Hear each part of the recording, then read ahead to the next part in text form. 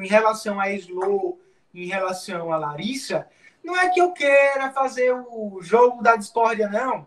Mas é. aqui fora, aqui fora, pessoas próximas, as duas sisters, diz que tem, uma, tem umas coisinhas aí mal resolvidas entre, tem entre elas.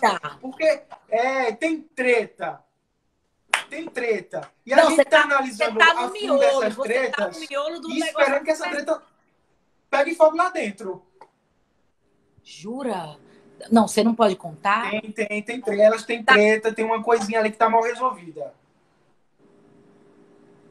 Inclusive, ó, Será Inclusive, que isso é estratégia é... do Boninho, então, por quê?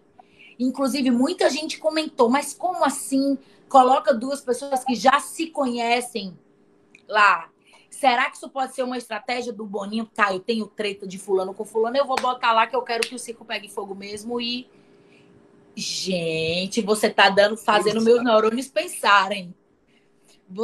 Eu vou ter que fazer tem. Eu acho que é por isso que ela tá, tá tentando enganar um pouco mais a Eslovênia ali, porque as coisas começam a fazer sentido, né?